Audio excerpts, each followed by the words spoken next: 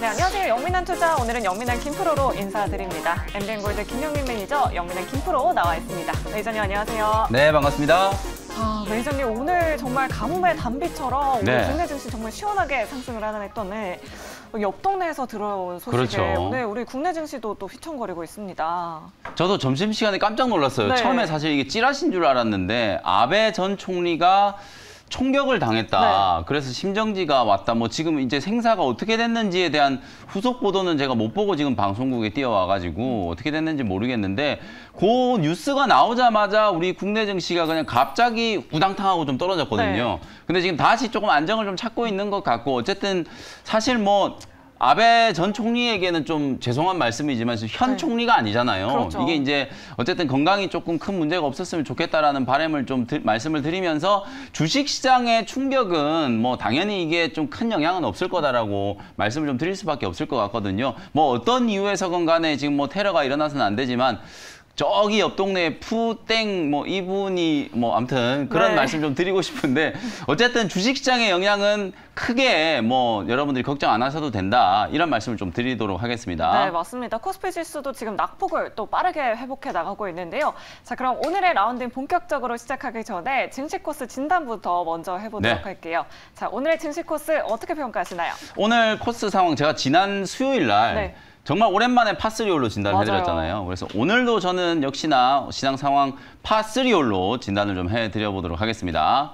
팔쓰리 오, 네, 네. 외국인의 수급이 또 요즘 눈에 띄어요. 맞습니다. 네. 오늘 원달러 환율이 뭐 소폭 상승하고 있기는 하지만 1311원까지 이제 튀어 올랐던 원달러 환율이 이제 상방에 대한 이제 락이 분명히 조금 걸리는 듯한 느낌이 네. 좀 들고 있거든요. 그리고 글로벌 증시의 상황이 오늘도 시장 상황을 보면 참 재밌는 게 국제 유가가 다시 회복되고 폭락하던 구리 가격이 이제 반등을 하고 그러면서도 미국 주식 시장 지금 화면에서 보시는 것처럼 뭐 나스닥 지수가 4거래일 연속으로 상승을 하면서 2% 올랐거든요. 오늘도 보면 대부분 다 성장주들이 올랐어요. 애플을 포함한 빅테크 기업들이 일제히 다 상승을 네. 했고 오늘 테슬라도 5% 이상 이제 반등에 성공을 했고요. 그리고 역시 미국에서도 코로나19 확산세와 관련된 이제 백신주 모더나가 또 8%가 넘게 이제 급등을 하는 그런 모습이었거든요. 제가 이번 주 내내 여러분들께 시장의 트렌드가 바뀌고 있다. 이 성장 섹터 종목들에 대한 수급 심리가 좀 살아나는 분위기다라는 걸 말씀을 좀 드리고 있기 때문에 기존에는 원래 이제 유가가 막 올라가거나 이런 원자재 가격이 올라가면 주식시장에는 악재다 뭐 이랬었는데 오늘은 이게 또 어떻게 해석이 되고 있냐면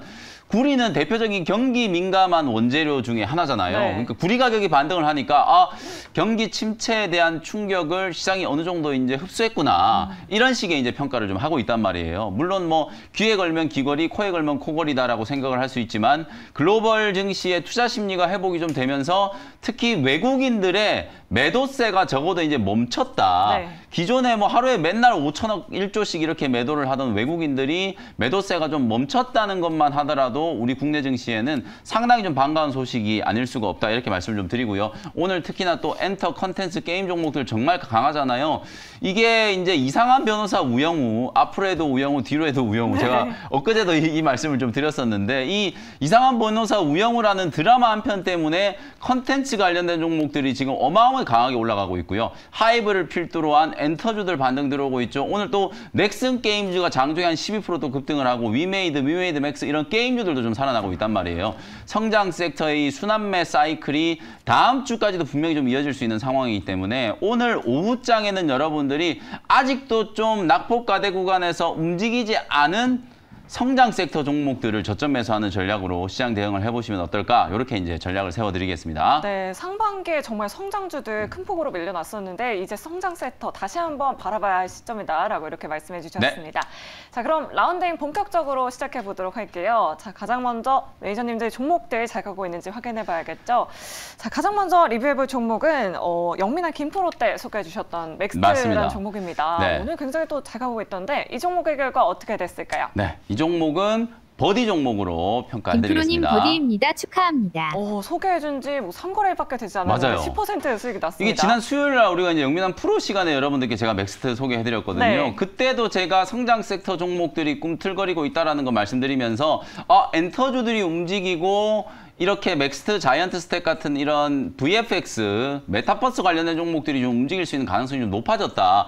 불과 이제 뭐 한 2, 3거래일 만에 수익률이 지금 10%를 넘어갔기 때문에 상당히 좀 탄력적인 반등이 좀 네. 들어온 거라고 보시면 되거든요. 아직도 주가가 바닥권이라는 건 여러분들이 차트만 열어보셔도 충분히 좀 이해가 되실 거다. 제가 이제 요즘에 메타버스 관련된 이제 시장 트렌드를 말씀드릴 때 미국 기업들 얘기를 많이 하잖아요. 실제로 이 생태계를 미국 기업들이 정말 공격적인 투자를 통해서 선점을 하려고 하고 있기 때문에 우리 삼성전자도 내부적으로 이 XR이라든지 AR 기기와 관련된 거 지금 TF팀을 꾸리고 기기 제작에 지금 나섰다라는 얘기도 좀 있거든요. 실제로 이제 애플이 내년도쯤이면 AR 스마트 렌즈를 이제 출시할 가능성이 상당히 좀 높아졌다. 그러면서 이제 같이 성장하고 있는 시장이 메타버스 플랫폼과 관련된 기업이고 오늘도 보면 이제 자이언트 스텝 같은 기업들이 일반 기업과 같이 캐릭터 만들거나 이미지 제작하는 거 이런 거 협업한다는 뉴스가 네. 나오잖아요. 이제는 거의 메타버스가 모든 기업들한테 공통적인 이제 플랫폼 툴로 활용이 될 수밖에 없기 때문에 주가는 정말 많이 빠졌는데 살아날 수 있는 모멘텀들은 계속해서 지금 생기고 있다. 그게 저는 가장 핵심이라고 보여지거든요. 하드웨어 시장이 이제 성장함과 동시에 VFX 기술을 가지고 있는 기업들의 가치도 분명히 좀 턴어라운드가 가능할 거다. 실적과는 무관하게 또 다른 이제 상승 모멘텀이 이제 형성되고 있는 과정이라고 생각하시고 맥스트뿐만 아니라 뭐 자이언트 스텝 그리고 최근에 이제 호재들이 조금 나오고 있는 덱스터 뭐 이런 종목들을 같이 여러분들이 참고를 해보시면 좋을 것 같습니다. 네, 그때 맥스트 소개해 주실 때만 해도 저 유튜브 채팅창에서 아 진짜 네. 많이 빠졌었다 이런 그렇죠. 이야기들 나왔는데 네. 여전히 저평가 구간이다라고 이렇게 맞습니다. 말씀해 주셨습니다. 네. 자 다음으로 리뷰해볼 종목은 바로 디어유입니다. 네. 어, 오늘 뭐 에스파 컴백 소식도 있던데 맞아요. 네, 이 종목의 결과 어떻게 됐을까요? 네, 이 종목은 이글 종목으로 평가해드리겠습니다. 김프로님 이글 nice shot 축하합니다. 와 지금까지 16% 수익률 챙겨가고 있어요. 아, 그리고 이 종목도 뭐 소개해드린 지 오래된 종목이 아니고 이번 7월 주요? 4일 이번 주 네. 월요일 날 소개해드렸거든요.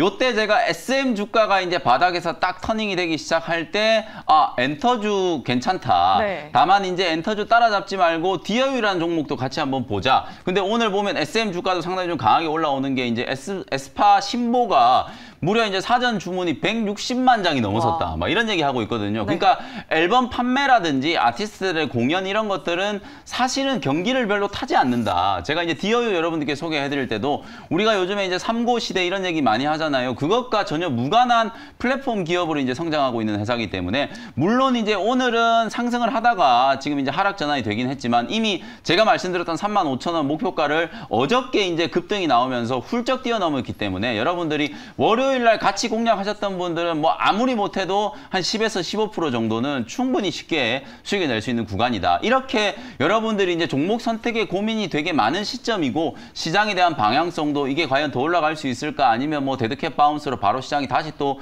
꼬꾸라지는 건 아닐까 이런 걱정들을 많이 하시는데 어쨌든 종목들은 성장 섹터 종목들이 지금은 어떤 종목들보다도 훨씬 더 탄력적으로 지금 반등을 한다라는 거거든요. 많이 빠졌다라는 거 그것 자체가 재료가 될수 있는 시장 분위기가 지금 만들어지고 있기 때문에 뭐 디어유도 불과 한 4, 5거래일 만에 상당히 지금 좋은 수익률을 지금 기록을 하고 있다. 이렇게 말씀을 좀 드려보도록 하고요.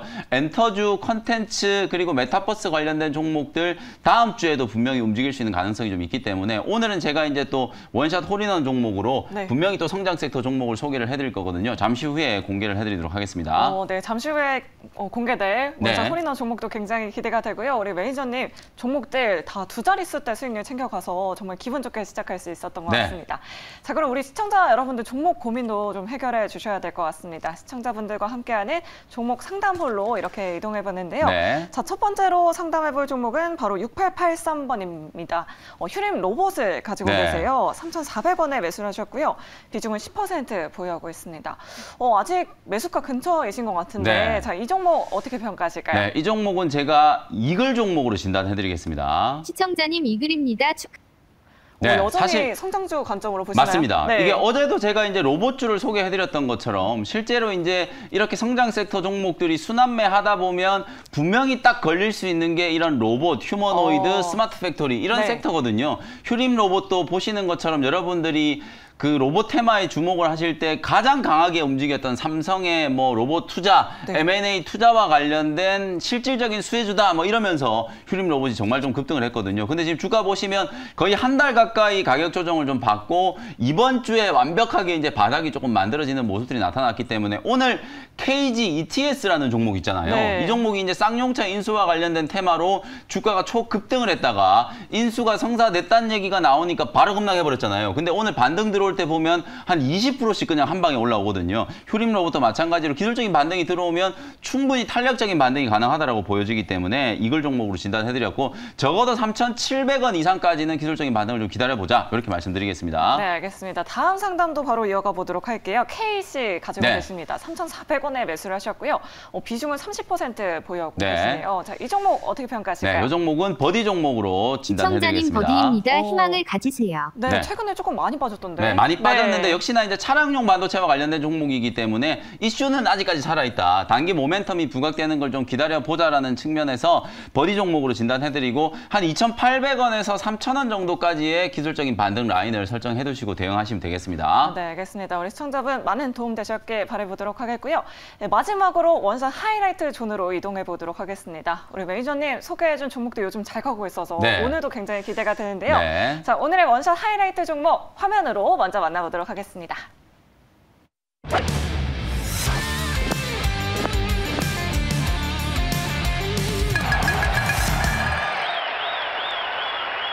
네, 오늘 준비해온 종목 플레이위드 현재가로 편입을 좀 해보도록 오, 네, 하겠습니다. 게임주를 가지고 네. 오셨네요. 지난번에 상한가 갔었잖아요. 맞아요. 이게 신작 출시할 때 상한가 가면서 막 어마어마하게 급등을 했다가 네. 그날 이후로 그냥 폭포수 쏟아지듯이 지금 주가가 조정을 받아버렸어요. 네. 근데 지금 이제 중요한 건 사실은 이제 제가 제약바이오 종목들 한 달 한 달 반 전에 막 이제 말씀드릴 때 그 당시만 하더라도 사실 제약바이오가 방송에서 소개되는 게 거의 없었어요. 그러니까요. 근데 이제 요즘에는 거의 대부분 다 제약바이오 종목들 여러분들 추천하시는 거 많이들 보셨을 거예요. 맞아요. 거의 비슷하게 지금 게임주 말씀드리는 전문가 별로 없을 거예요. 맞아요. 메타버스나 게임주 이런 종목들이 워낙 주가가 많이 빠졌고 실적도 아직 별로 좋지는 않기 때문에 지금 게임주를 사야 하나 약간 이런 의구심을 갖고 계신 분들도 분명히 계실 거라고 보는데 제가 게임 업종은 반등이 들어올 수 있는 명분 세 가지를 제가 딱 지금 요약을 좀 해드리면 오? 가장 첫 번째는 실적 악재가 이미 주가에 충분히 반영됐다. 아. 이제 2분기 실적 시즌이 곧 시작되는데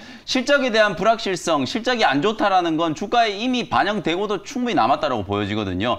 이미 악재를 충분히 막고 실적에 대한 이슈가 어느 정도 이제 소화가 됐다라는 거. 그게 이제 첫 번째고 두 번째는 이제 드디어 기다리고 기다렸던 신작 출시에 대한 이제 기대감들이 살아날 수 있는 시점이 됐다. 원래 상반기 때 예정되어 있던 이 신작들이 전부 대거 이제 하반기로 다 좀 지연되거나 미뤄지면서 사실은 실 적이 안 좋았던 것도 그런 이유 때문이라고 보시면 되거든요. 근데 이제 신작 출시가 지금 여름 성수기를 맞아서 봄물 터졌듯이 이제 승작들이 나올 거기 때문에 그 흥행 스코어에 따라서 게임주들의 이제 반전 분위기가 나올 거다. 컨텐츠 종목 보시면은 이상한 변호사 우영우 이게 워낙 히트를 해버리니까 다른 컨텐츠 종목들도 같이 지금 급등을 하는 모습이 나오잖아요. 게임주도 마찬가지 분위기가 충분히 나타날 수 있던, 있는 생각이 들고요. 낙폭과대에 따른 속- 쇼커버, SK 바이오사이언스라든지 하이브 같은 이런 종목들이 공매도 가 워낙 많았잖아요. 그런 공매도가 많았던 종목들이 주가가 반등이 들어오기 시작하니까 short covering이 이제 들어오면서 탄력적인 이제 반등이 나타나는 것처럼 게임주도 정말 이제 공매도가 좀 많았었던 종목 중에 하나거든요. 그런 부분들을 감안하면